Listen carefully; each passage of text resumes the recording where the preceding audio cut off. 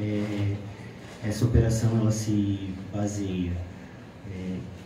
basicamente na questão das empresas de informática. A Lama Asfáltica, quando ela começou, ela voltou mais as suas atenções para desvio em obras públicas é, e nessa fase é, se passou a, a, ao foco é, de empresas de informática que recebiam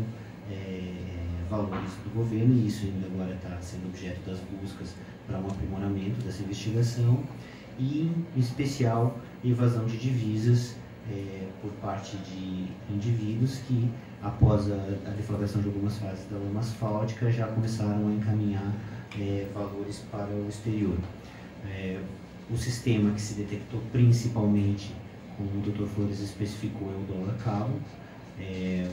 repasse de é, a depósito de valores em contas já especificadas aqui no país é, e o depósito concomitante de valores em dólares ou em guaranis no exterior, é, é um, um, fenômeno que é muito conhecido, há já 15 anos tem esse, tem esse sistema que é o sistema de dólar cabo. Também existe a possibilidade do encaminhamento de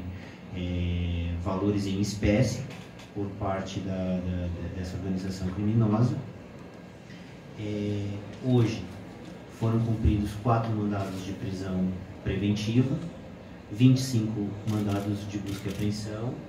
é, foram efetuados o bloqueio de 22 milhões de reais,